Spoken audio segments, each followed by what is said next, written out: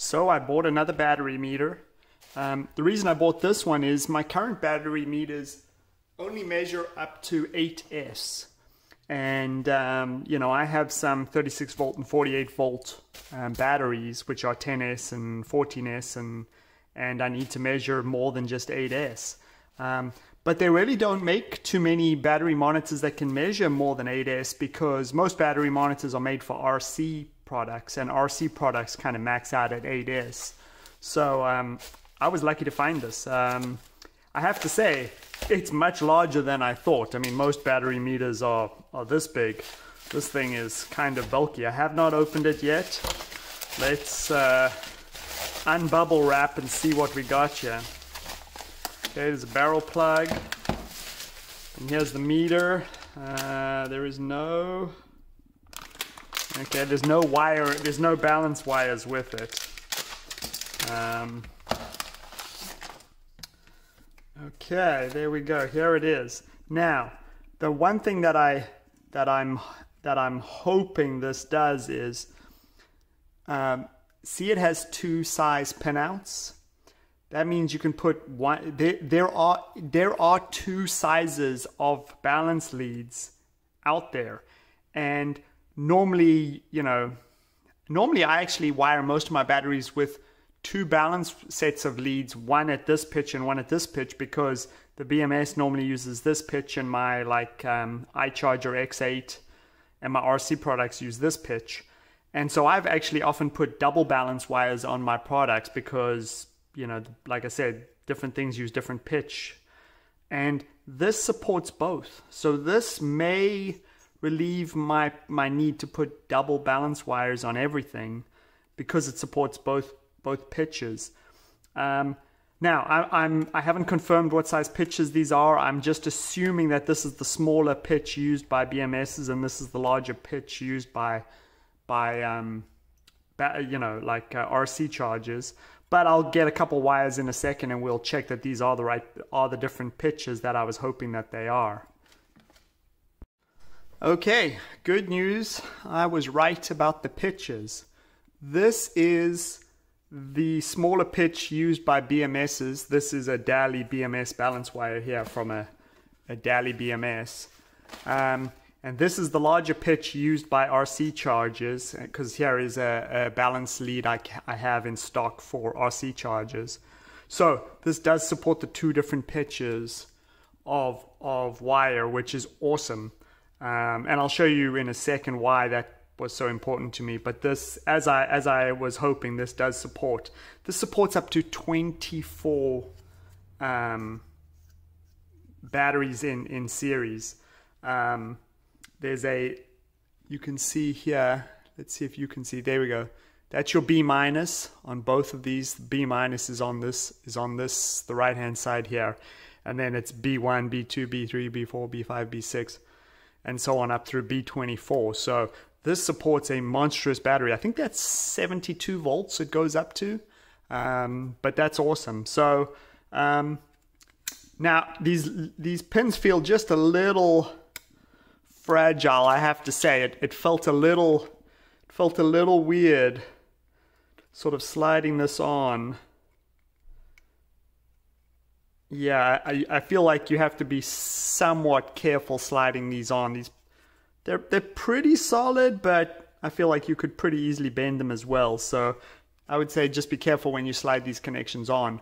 But um, I'm very happy that we have both pitches on here. That really gives me a lot of options and a lot of flexibility.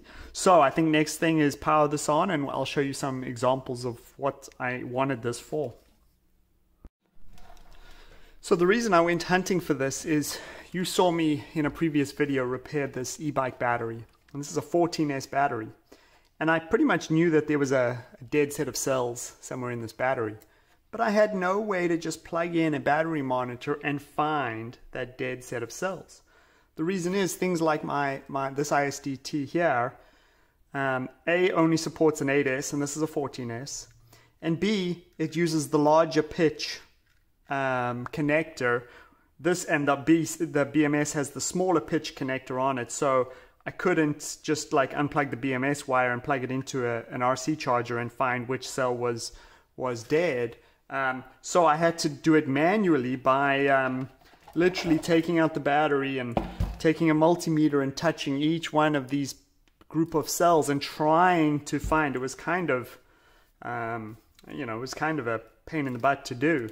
But in theory now, if I have problems with a battery like this, I can just pop off the BMS lead, plug it into this, and it should be able to, since all the BMS leads already run to all the different groups of cells, we should be able to just plug this smaller pitch wire into this side of the, the meter and we should be able to see all the cells.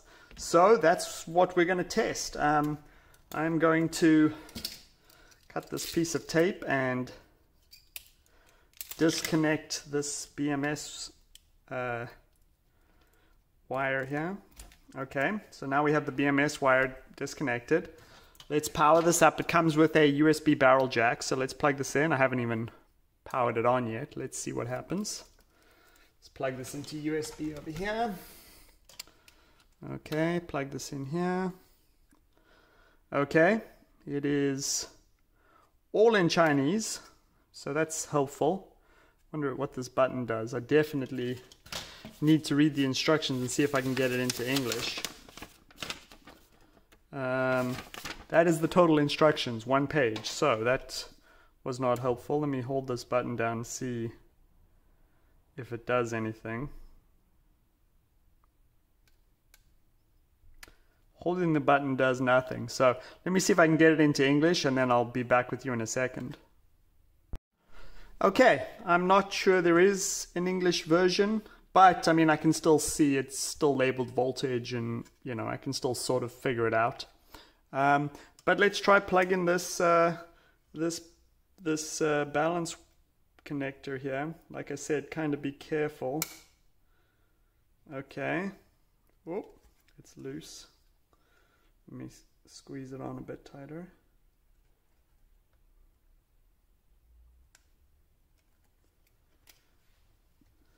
Okay. Let's see here. Let me zoom you in a little bit. Well, actually, let me just bring this over here. Okay. So, uh, the total battery voltage is 51 volts. We have 3.9, 3.9, 3.9, 3.9, 3.9, 3.9, 3.9.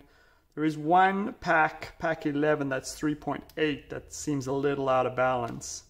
Um, but total difference in, in um, our total um, uh, uh, variance between the high and low pack is 0.069 volts, which is perfectly fine.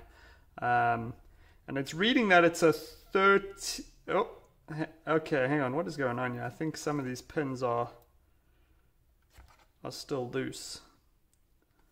Um, oh, this is actually a 13. I think this is a 13. Yes, this is actually a 13S pack, not a 14S pack, 13S pack. Um, so this is correct. There are 13 cells. Um, so besides one pack being maybe a hair lower, um, I can now easily read all the voltage on all these on all these pins uh, on all these you know series batteries pretty easily. So that's your total voltage, your high voltage, your low voltage, your difference, and the number of batteries in series. Um, not sure what the button does. We can hold the button, see if it does absolutely anything. It seems to do nothing. So, like I said, not sure what the battery does, button does, but that doesn't matter. This is very helpful. I don't need multiple balance leads. I can plug right into the BMS's balance lead. I can get all my battery voltage readouts. I can see my high and low battery, the the difference that I have that I have to work with, and figure out whether I need to do any balancing on this pack. Um, this is exactly what I needed. Nice and simple. It's larger than I thought, but it's nicely constructed. It's got the plexi cover, plexi bottom. Um, useful, you know. Um, so yeah, I think this is this is pretty helpful. Now this does no balancing. This isn't you know this isn't going to balance. This isn't going to charge. This is just a meter. Um, but on larger packs, when you have 16Ss, 14Ss, 13Ss, and you want to quickly read all your battery voltages, um, this is very helpful. Um, another thing is if you have kind of a dumb BMS like I do, I use all the Daly BMSs without the Bluetooth interface. There's really no easy way to know how the battery is, you know, how the individual batteries are doing unless you plug in something like this or the ISDT or whatever. So now this gives you the ability with just a dumb BMS to read all your battery voltages and decide if you need to do any sort of manual balancing or if the pack's healthy and you need to get involved. So yeah, for what I needed it to be, this is awesome. Okay, let's see how the uh, this new um, meter stacks up to the uh, ISDT. We'll check it on my Powerwall here. Um, So here we go. Here's this meter. Um, I'm going to do the ISDT first. Um, I'm going to plug it into the external balance wires here.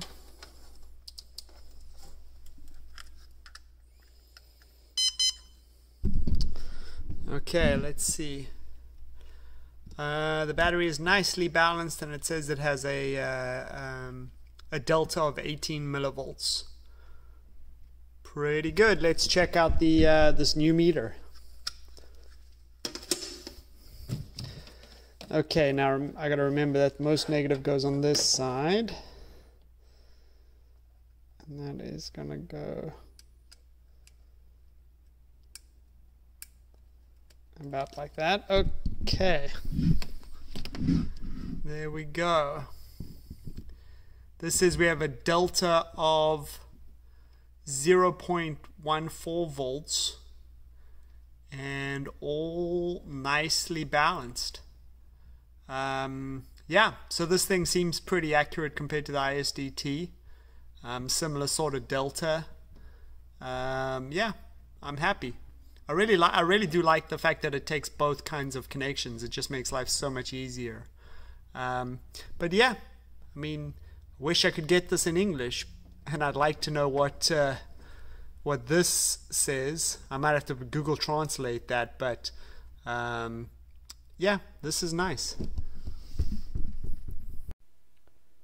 So I did Google Translate this uh, screen. You can see that it's the it's total voltage, maximum voltage, minimum voltage, maximum differential, number of battery strings, and then uh, I like the little meat. I like the little saying down in the bottom corner corner here.